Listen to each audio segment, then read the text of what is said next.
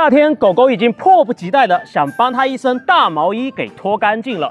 您会给狗正确梳毛吗？像现在这种季节，就是狗狗换毛的季节，狗狗已经迫不及待的想把一身大棉袄给它脱干净了。但是有一点，很多养宠的朋友不知道，那就是狗狗的背毛它是分两种的。一种是硬毛，很多狗主人给狗狗梳毛的时候，往往只梳到外面的一层硬毛，但是里面它有一层绒毛，这层绒毛保暖效果它是非常好的。像夏天这种季节，但是里面的绒毛不处理干净的话，狗狗还是比较难受的。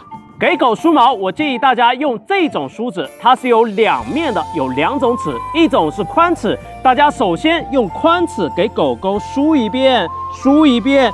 梳一遍，它底下的绒毛就彻底出来了。等底下绒毛给我们梳出来之后，然后再用细齿的这一面继续给狗狗梳，这样狗狗的毛发它就会脱得很干净。夏天这种高温季节，狗狗也会变得非常舒适。这种梳毛的方式就会让绒毛彻底的脱干净。我平时都是这样给狗梳毛的，效果会比较好一点。